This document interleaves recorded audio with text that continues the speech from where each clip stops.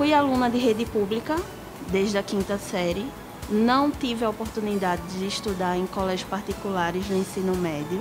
Mesmo assim, me dediquei, consegui chegar em pedagogia através de projetos sociais, onde eu me identifiquei muito com o trabalho em comunidade, com formação de leitores, contação de história. E a partir daí, eu tentei o vestibular na universidade. Foi, o, foi no ano de 2018, certo? E consegui a aprovação por meio desse vestibular. Entrei no curso de pedagogia, trabalhava em outra área, que não era da área de pedagogia. E a partir do primeiro período eu consegui ter uma oportunidade de trabalhar em um dos projetos sociais da universidade com uma professora muito querida, professora Marisa, onde eu fui aluna e oficineira de incentivo à leitura num projeto da, de extensão da universidade, o ECAGE. E a partir daí, minha vida foi trilhando os caminhos totalmente da educação. Depois da, do projeto social, eu ingressei no PIBID, né? Passei um ano num colégio de peixinhos com trabalhos de matemática.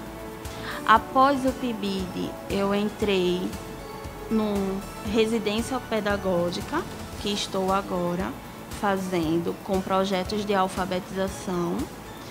E também continuo trabalhando em projetos sociais da universidade, projetos no caso de extensão, no, de contação de história, que é onde eu consigo ver a real, realidade de vida de muitos alunos e que eu tenho um sonho de trabalhar e conquistar, fazer eles verem que é possível conquistar esse espaço na sociedade e dentro de uma faculdade.